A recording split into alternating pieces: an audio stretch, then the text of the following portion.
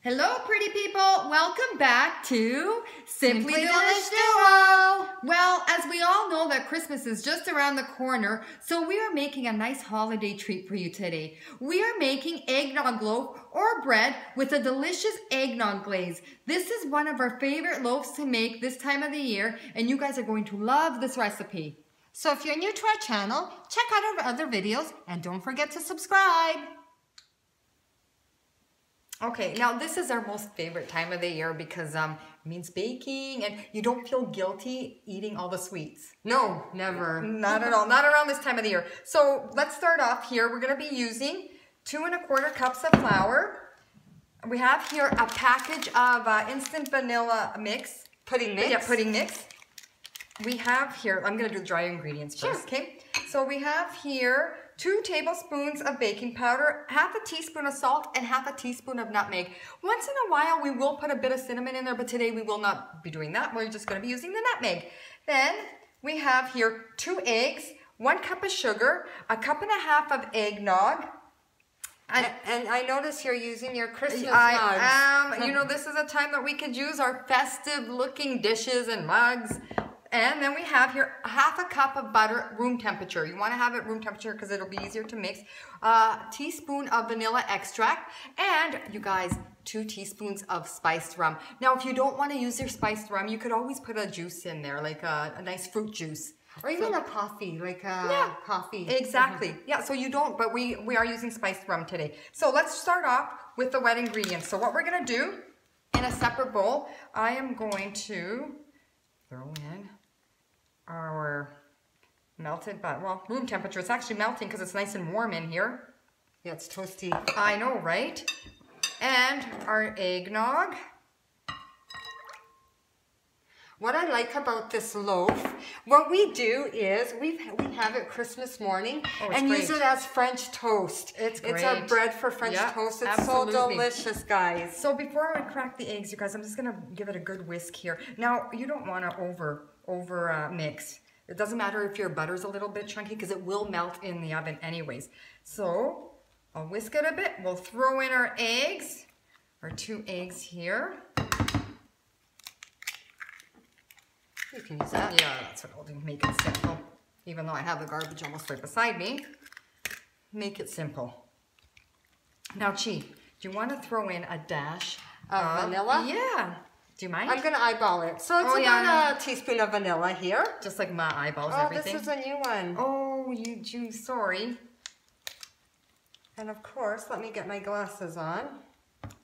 I forgot that I got the new one out. Let me just, oh, here we go. Sorry.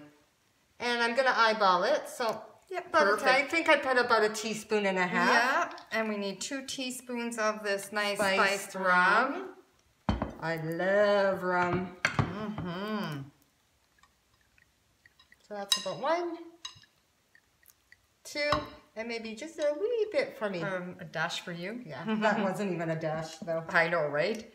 Okay, so. Do Do you want to just continue mixing? Yeah, and then we'll continue. come back with uh, dry ingredients. Perfect. Okay, so we gave it a good mix. So now I'm gonna take these dry ingredients. We're gonna do, you have it in your hands. Add in your vanilla pudding. Okay, and you guys, we're just gonna, oh, sorry. We're just gonna throw these all in. We're gonna mix these dry ingredients all together. Make sure that we Yeah. incorporate everything nicely Yeah, together. the, the baking powder and everything's nicely in there. All right, and I think I've got it here. Mm-hmm. So now we're gonna pour in our liquid, okay? And give it a good mix too. Yes, sorry, get guys. every little morsel Yes, in there. exactly. Exactly. All right. So let we'll mix it. You don't want to overmix it because if you overmix it, you're gonna have a tough loaf. Yeah, we So- want to keep our loaf. And that's why we're not using an electrical an electric mixer also because like I said, you do not want to overmix. You want it nice and moist and soft. All right, so I will continue. Do you want to? Yeah, I, I'm gonna uh, turn on the oven at 350 degrees because you want to pop it in a, a preheated oven. Oh. Okay, so our oven's preheated at 350 degrees, and I just heard it beep too. Yeah, just Our ba- Yes, our batter is nicely mixed here. Now, um, we generously buttered uh, a pan here, and we dusted it with flour. You guys, you don't want to have your loaf stick. No, no. Otherwise, it'll just crumble and break. And um, if you don't, you want to use butter and flour, just use the spray, cooking spray.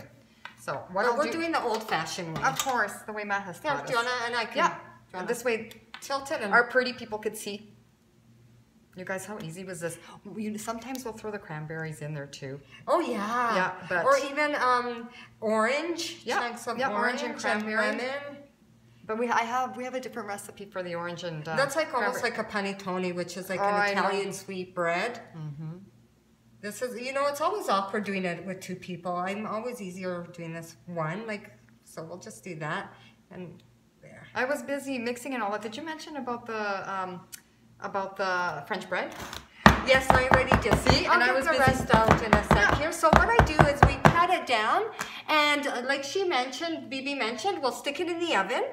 for about 45 to 55 uh, minutes or just check it with your toothpick and once that toothpick comes out clean your loaf is done Yeah, and make sure let it rest for about half an hour before you pop it out Yeah. of the pan, or else it will stick. It comes out easier once it's cooled Oh, down. definitely. I'm gonna get the rest of the batter in here, and we'll get this in the oven. so our loaf was in the oven for a good 50 minutes um, we took it out let it cool down for half an hour and we put it and popped it um, out of the tin after after it cooled down and put it on a rack so now we're ready to make the glaze so we're using a cup of icing sugar or powdered sugar we have two tablespoons of eggnog and two tablespoons of our spiced rum And I'm also gonna add a dash of vanilla. Mm. I know, I know, because we always bake with this vanilla too. So just a little bit. You don't need a lot. Just, Just for some flavor. Yeah. Adds that extra And flavor. I was so happy it came out nicely. oh, it came out perfect. Yeah, slid right out of the pan. Oh yes, yeah. Well, after you cool it down a bit.